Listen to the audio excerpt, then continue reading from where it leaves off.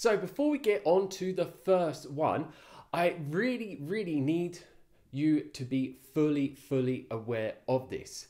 If you're someone that is on a carnivore diet, or you go on a carnivore diet in the near future and you experiment with it, and it seems that you're doing everything right and you've researched it really well and you're experimenting with loads of things and it's not working for you, well, it might be and it could probably be that the diet isn't the thing that is causing your health issues and symptoms. So, certain things that you may need to address is getting out of a job that you do not like, or even a relationship that's a very unhealthy relationship, not having a good sleep routine where you're going to bed early enough, being on electronic devices too much that produce a lot of EMFs, or even having a wireless router for your internet very close to you, or even sleeping with your phone on next to your bed, or even near you, or under your pillows, or even on your body in your pockets. Which, if you actually look at the manuals of phones you buy, they actually say do not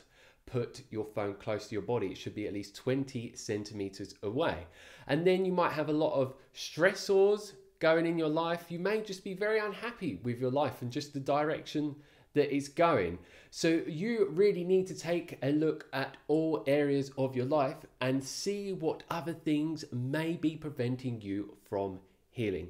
Because the diet can only do so much. So just remember this, this is very, very important. So, on to the first one. So, you may have just got on the carnivore diet and you're hoping and wishing that you're getting all of the health benefits straight away and resolving every different health issue that you have going on. So you may just be being impatient and not waiting long enough. Yes, you should start to feel good as soon as you go on the carnivore diet, and a lot of health issues and symptoms should go very, very quickly, but some are going to take a lot longer time period to resolve.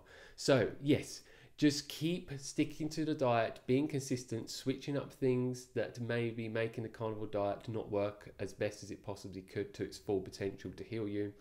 And then, yeah, I'm going to share with you in the next ones the reasons why the carnivore diet may not be working for you so well. So, number two, it may be you are someone that has massive issues with histamines, especially if you're someone that's come from a plant based vegan diet, because these diets and the foods contained within it are full of histamines, which histamines are a plant toxin that is a defense mechanism that is in the plants to stop you fully eating them so they die off completely and don't repopulate. So it's a brilliant survival mechanism that the plant has within them. But also, Histamine is something that we do need within the body. It's a neurotransmitter. But when you're someone that has eaten so many histamine rich foods for a very long time, the histamines from the foods that you've eaten will accumulate in an abundance within your body. So then, if you switch to a carnivore diet and you're having things such as aged meats or even minced meats or even meats that aren't that fresh, the more that a meat is aged or if it's been minced or the longer it is left after it has been taken from the animal to be put within a shop for you to then buy it, the more histamines it is going to naturally create. So you're someone that has histamine issues, say. You want to be making sure that you avoid those types of meats that I've said and get the freshest meats that you can possibly get. And what you'll find is after a period of time of eating the lowest histamine content meats for a period of time, your body is going to keep removing all the histamines stored within your body, and it will get to a point where you can start to reintroduce certain foods into your diet that do have more histamines in it and you don't react to it. And if you don't know about histamines, histamines actually induce inflammatory responses within the body and it also causes allergic reactions. And I recommend that you do your research on this subject because you can find out way more than what I've talked to you about in this video. And this is a massive issue for so many people that switch on to a carnivore diet. But for people like this, I normally find, and from what I've researched into people that have massive issues with this, if they normally stick to beef and have mostly steak, they don't seem to get any issues with a histamine response. Number three, you may be eating a lot, or you don't have to eat a lot, should I say, but you may be eating consistently high PUFA meat containing foods, which, if you don't know what PUFA is, it stands for polyunsaturated fatty acids. And meats that are very high in this are meats such as pork, fish, duck, turkey. The list just goes on and on and on. Do your research up online, find out which ones alongside the ones I've just mentioned are very high in PUFAs. And what you would want to do is remove them from your carnivore diet completely because there are a lot of people that get on with these, but then a lot of people don't. And if you do your research into this, I'll put a link down below to an article where Ray Peat, one of my main teachers that I've learned from from years and years and years, he talks about polyunsaturated fatty acids and negative effects as a whole. But it does mess up your hormone production, it does cause inflammation within the body, and it does have a negative effect on your immune system, and it has a whole host of other negative effects as well. So, yeah. If you're someone that's eating these types of meats on a regular basis, try removing them and stick to mostly lamb and beef because they're some of the meats that have the lowest polyunsaturated fatty acid content. And what you need to be aware of is when you are getting animals from factory farm sources and their meat, they are fed foods that are very high in polyunsaturated fatty acids. And then what does that result in? It means that the meat that they are producing for you to eat is going to be way higher in polyunsaturated fatty acids.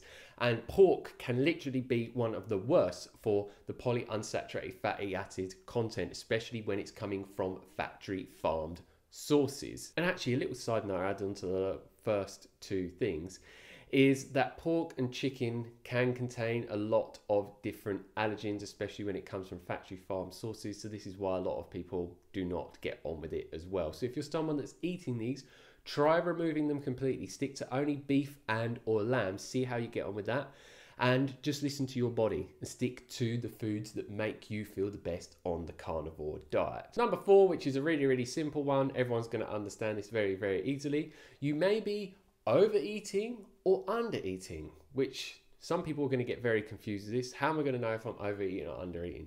Well, if you want to know if you're overeating, you're just going to feel very heavy afterwards. And when you're eating, you're just forcing yourself to eat past the point of satiation. So that's just a really good telltale sign. And if you're someone that's under eating, you may be feeling hungry throughout the day. You may have low energy throughout the day. So just experiment. If you think you're overeating, try eating less within the day and less meat. See if you feel better. But if you think you're under eating, then try eating more. Just experiment and listen to your body again and see if either one of these things work for you. And this could be a very, very quick, easy fix for a lot of people that have either one of these things going on. And number five, and this can change over a period of time. So when I got on a carnivore diet, I was trying to eat as much fat as I possibly could whilst eating any meal on the carnivore diet, which that felt very good for me to do for quite a long period of time. But after quite a while, it actually started to have a negative effect on me and not make me feel so good holistically. So this, like I said, can change over a period of time. It seemed that I needed a lot more fat at first, but then after a period of time, I actually do better now on way, way higher protein and a lot lower fat. And I know people that throughout the year, when they've been on a carnivore diet, sometimes they feel better on higher fat, sometimes on higher protein and lower fat. So just keep your mind open and know that you are not static at all. You're dynamic, you're forever changing and evolving in every different way. There's always different seasons which can change things for us as well. So be willing to switch up and experiment with these different macronutrient ratios and having more of one or another at any one given point. And I actually have found with so many people that I speak to that have been on a carnivore diet long term, they normally tend to find that over a long period of time after being on a carnivore diet that they actually do way better on way higher protein and a lot lower fat. If you want to know macronutrient ratio, normally around 90% of their calories coming from protein and only 10% of their calories coming from fat. Number 6, consuming too much salt, which a lot of the carnivore people out there and also the keto people out there will tell you if you're not feeling good on these diets, you just need to consume a lot more salt, up to 10 grams of salt a day. Which, when I used to be on a keto diet, I listened to this. I did this on a carnivore diet as well. And guess what happened? Every time I did this, it would destroy my energy levels and not make me feel good holistically. I actually feel the best when I'm having a way lower salt intake. So if you're someone like me, where I was on a carnivore diet where I started having more and more salt because I felt naturally drawn to, and a lot of people saying that that's a good thing to do, and you're not feeling good, just try having no salt or a very small amount of salt for a period of time and see if that makes you feel any better. And the reason why it could be doing this is because it can throw other electrolytes out of balance, such as potassium and magnesium. Number seven, and this is a really quick, easy fix, you may not be drinking enough water. You may be someone that in the past has been used to eating a vegan diet which has a lot of high water content foods within it. So then when you switch to a carnivore diet, you could end up not drinking enough water and try and drink the amount of water that you used to on a vegan diet, which you're actually going to need way more because obviously the foods on a carnivore diet, especially if you're eating just meat, don't have nowhere near as much water content as plant foods, for example, especially when it comes to things such as fruits. And I found for me, if I wasn't hydrated at any point on the carnivore diet and then I ate a carnivore meal full of a lot of meat, it would make me feel very sleepy for hours and hours afterwards. You may get some other different negative effects. We're all different, so we all get different negative effects from different things, but this is my own experience.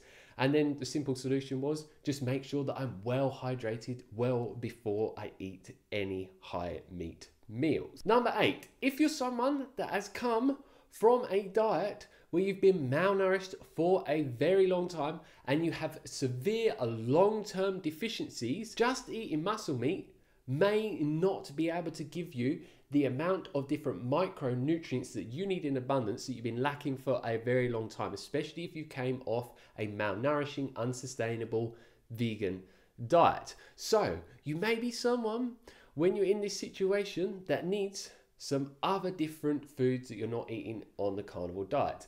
And it would be more specifically organ meats, because organ meats such as liver, are some of the most nutrient rich powerhouse foods in the world.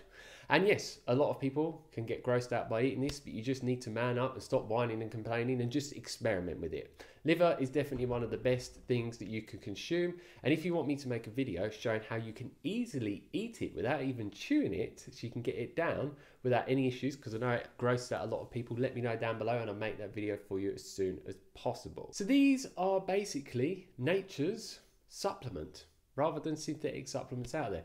But if you're someone that really finds it too gross and too yucky to eat organ meats, which I can understand, especially for someone that's never really ate them in your life and you're not used to them in any way whatsoever, then you could take an ancestral supplement, which are pasture raised, antibiotic free, hormone free organs from cows that are put into a supplementation form.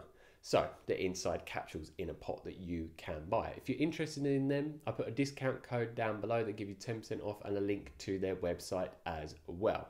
And these are brilliant, especially for children that you may want to give organs, which they can definitely be a lot harder to get them to eat organ meats in their whole form. So supplements can be a good alternative. And then number nine would be eating factory farmed meats. Yes, there is a lot of people on a carnivore diet that are pro eating factory farm animals and they feel very good from eating them. But as I mentioned earlier on, when they are fed things such as corn, soy, and grains, which if you're someone that's on a carnivore diet, ask yourself would you put those into your body? Would you eat them? So why would you eat animals that are eating it? It doesn't make any sense in any way shape or form. It's going to make them have way more polyunsaturated fatty acid content within them.